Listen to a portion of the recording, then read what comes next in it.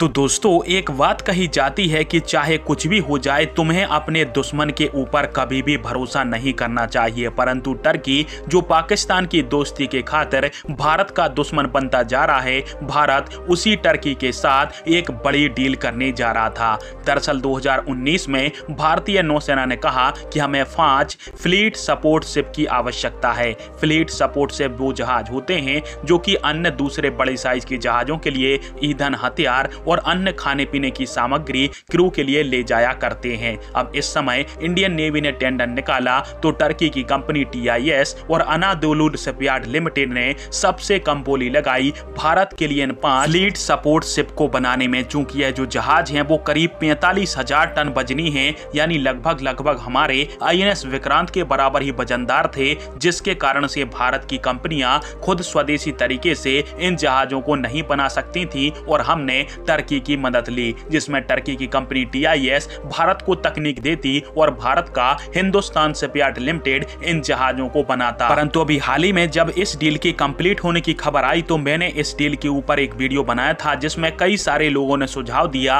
कि हमें टर्की के साथ इस डील को नहीं करना चाहिए था, क्योंकि टर्की इन जहाजों के साथ कुछ भी छेड़छाड़ कर सकता है, जो कि भारत की सुरक्षा के लिए एक बड़ा खतरा बनेगा। और फाइनली भारत सरकार ने आपकी मांग के ऊपर अमल करते हुए चुपचाप तरीके से इन पाँच फ्लीट सपोर्ट शिप की डील के अंदर टर्किश कंपनी टीआईएस को चुपचाप तरीके से बाहर कर दिया है। और इसके के ऊपर आप सभी आर्टिकल भी पढ़ सकते हो, जिसमें रक्षा सूत्रों ने बताया है कि अब हमारी जो पाँच फ्लीट सपोर्ट शिप हैं, उनको हमारा हिंदुस्तान शिपयार्ड लिमिटेड स्वदेशी तरीके से भारत में ही बनाएगा, यानी टर्किश कंपनी इस डील से भारत के द्वारा बाहर कर दी गई है। पर आप सभी के इस टॉपिक के अंदर क्या राय है? और भारत सरकार ने तुर्की को इस डील से बाहर करके क्या सही फैसला लिया या फिर गलत? कमेंट बॉक्स में फिर आप वीडियो देखने के लिए धन्यवाद। जय हिंद, वंदे मातरम।